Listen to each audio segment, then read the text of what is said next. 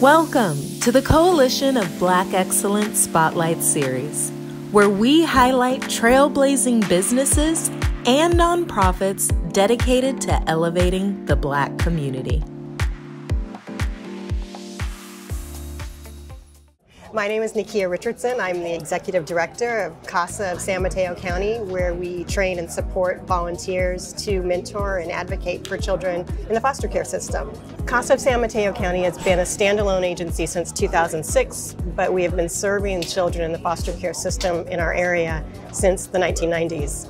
CB is doing a tremendous job of bringing people together across various sectors to um, network with one another, to find out how we can be of service to one another, and to make sure that even though uh, there are, in the Bay Area is a large area geographically, uh, that we're all able to come together to make our community a better place and to find out how we can connect and get to know one another.